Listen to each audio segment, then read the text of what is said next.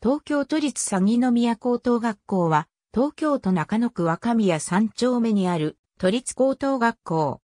学生改革後の新生高校改祖時に共学化され、現在の学校名である、鷺宮高校となる。通称は、鷺高。前身は、東京府立高等家政女学校。西武新宿線都立家政駅から徒歩3分。隣接する鷺宮駅の型駅間が 1km もない中、設けられた都立家政駅の存在は、旧制中学や旧制工女などの旧制中等教育学校から現在の新生高等学校レベルの学校の中では日本で最初に通学用に鉄道駅が誘致された学校であり、公明を冠した鉄道駅では全国唯一の学校にあたる。厳密には、下記遠隔の通り、当校の現在地移転は、府立火星駅開業12月25日の後であり、移転計画に伴い新駅設置が先行した。交渉の由来については、当時の教諭が、ババサミとチャコとヘラの3つを組み合わせてデザインしたものと伝えられている。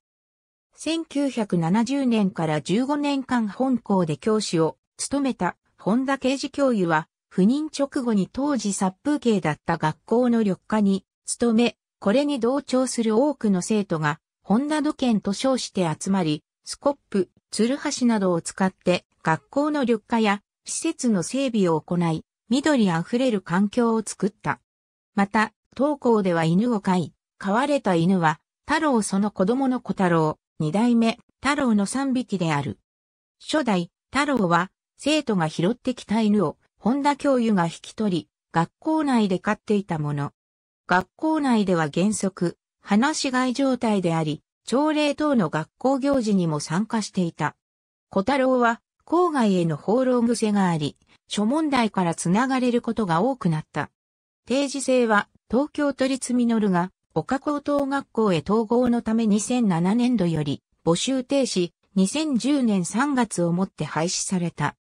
サッカー部は、1973年の新人戦にて、決勝で当時最強の帝京高校、翌1974年全国初優勝を2から1で破り、東京都第1位となり、藤沢市で開催された関東大会東京都代表となる1980年全国優勝2例から0延長戦で赤敗。インターハイ東京都予選に臨むが規則により不戦敗。続く全国選手権東京都予選にて再び帝京高校と対戦するが苦敗を喫する。なお、学校軍制度導入時から1981年実施における都立高校の東京代表は、サッカーにおける本校と野球の国立高校のみである。文化部では後日の軽音楽部のほか書道部が盛ん。書道部の文化部特別推薦枠を推薦入試において設けている。鷺宮高校の軽音楽部は1969年に岡井大二らが軽音楽同好会として創設。